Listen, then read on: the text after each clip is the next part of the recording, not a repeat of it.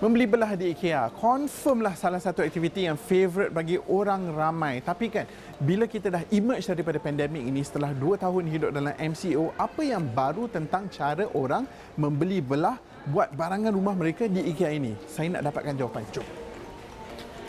So, kita ada bersama dengan kita Puan Ida. She is the assistant store manager di IKEA Damansara ini. Hai Puan Ida. Hello, Okay. hai. So, tadi kita dah simpan sikit dan Puan Ida ada bagi gambaran tentang sekarang ni orang bila beli uh, atau rancang satu ruang tu dia menjadi ruang hybrid. Hmm. Apa sebenarnya maksud ruang hybrid tu? Ruang hybrid tu maksudnya kita pelbagai guna lah. Okey. Ya, Bagi contoh macam ni kalau dia uh, dining table tempat mm-hmm. makan ya boleh juga diguna untuk ruang bekerja Mhm. mm-hmm. dan juga kalau budak-budak ruang uh, study ataupun bila time dia nak buat homework.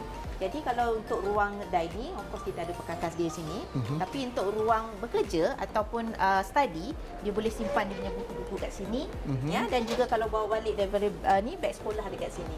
Hmm. Uh, jadi dual function. Maknanya bila dia plan tu dia tidak janggal lah tiba-tiba ada buku-buku di sebelah meja makan. Ah ya. Okey, faham. Uh, bagi ruang tamu pula macam mana? Sebab ruang tamu ni semasa pandemik dulu uh, hanya untuk keluarga. Hmm. Tapi sekarang ni bila kita dah buka orang ramai datang. Jadi apakah benda baru yang orang fikirkan bila plan ruang ni? Jadi yang yang, yang penting sekali actually kes, keselesaan. Mhm. Mm-hmm. Bila, bila kalau customer kita uh, kalau kalau kita punya tetamu kita datang dia rasa selesa, dia rasa boleh berborak, boleh Mhm. lepak lama ya. Jadi kita nak mewujudkan uh, area yang lebih uh, uh, mesra ya Mhm. kalau kita punya tetamu kita datang. Ya, macam So ni. orang akan belilah bangku-bangku kecil untuk Ah, banyakkan kalau tempat duduk. tetamu you ramai datang, ah, you ada extra storage, extra space macam ni. Okey, faham. Tapi in terms of safety saya saya terpanggil untuk melihat benda itu. Hmm. Kan? Tiba-tiba saya ingatkan speaker tadi bila masuk Bukan tadi. speaker, ni air purifier ataupun penapis udara. Alright. Ya, sangat popular selepas masa pandemik ya. So Hmm. people actually nak mewujudkan air, udara yang segar di rumah. Hmm. Jadi di IKEA pun kita ada produk terbaru air purifier. Sangat uh, mampu milik lah. dan sangat affordable. Ah, Sangat itulah dia. Okey, alright. Satu lagi trend ialah uh, tiba-tiba orang uh, pandai masak. Ah, Jadi ada banyak innovation di dapur. Jom kita tengok dapur pula.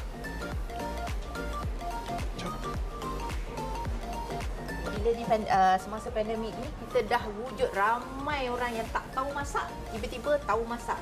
Belajar dari mana? Belajar daripada YouTube. YouTube.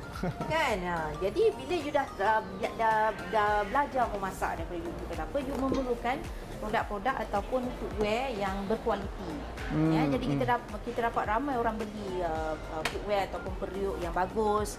Ya, dan juga uh, sebab kita pakai gadget ya kalau dia nak tengok uh, resepi ke apa ya, dia akan memudahkan macam contoh ya, memudahkan. So maknanya di, di ruang dapur, maaf saya uh, interject, ruang dapur benda-benda yang kecil-kecil ni yang menjadi lebih popular sekarang ni. Ya. Uh, quality cookware dan uh, apa ni uh, assistance uh, Ah. untuk gadgets-gadgets gadget ni. sekali. Ah. Ada orang ah, masak dia ambil gambar. Ah, ada okey, okey, juga faham. Betul, gambar betul, betul, betul, betul. Jadi bila kita masak biasanya takkan nak masak sikit kan. Ah, ah. Kalau masaklah extra. Bila you masak extra, you boleh simpan untuk lauk you untuk yang hari mendatang ya ataupun you punya lunch over kalau you nak bawa pergi office. Hmm. Ya, jadi di IKEA kita ada banyak solution ya yang untuk you keep all your food so that you tak ada waste ya, tak buang makanan ya.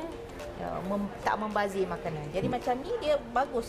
Ya, you, bo- you boleh save you punya ni, you boleh panaskan, you boleh hidang. So tak payah nak salin balik. ya. Faham. So, tak payah nak uh, basuh banyak. So sebab lebih ramai orang masak, mereka masak in batches. Jadi banyak-banyak boleh simpan Boleh simpan begitu. dalam fridge, Okey. ya. Alright. Dan satu lagi trend yang saya nampak lah especially dekat Instagram, TikTok tu ialah tiba-tiba orang semua ada green fingers. Ha. Pandai untuk bercucuk tanam. Tapi Ya. dalam apartmen macam ni, Mana kita nak tanam kan?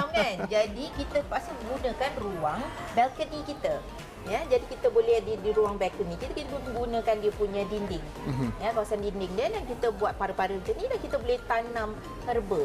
Ha, sebagai contoh ni plastik lah. Tapi kalau di rumah you boleh tanam cili ataupun basil ke atau apa kan dah ambil dia kita ada dia menjadi yang segar. mini herb garden Mini di herb situ. garden, ya. Jadi di luar tu dia bukan sahaja tempat basuh baju. bawah Ah, baju dia boleh ada juga macam ni pula. tanam bercucuk tanam juga. Faham, Ya. faham. Okey, so inilah antara benda-benda baru yang berlaku di IKEA yang kita pelajari ya. Ya. Alright, okey. Terima kasih Manida. Alright, so sekarang you dah tahu happy shopping.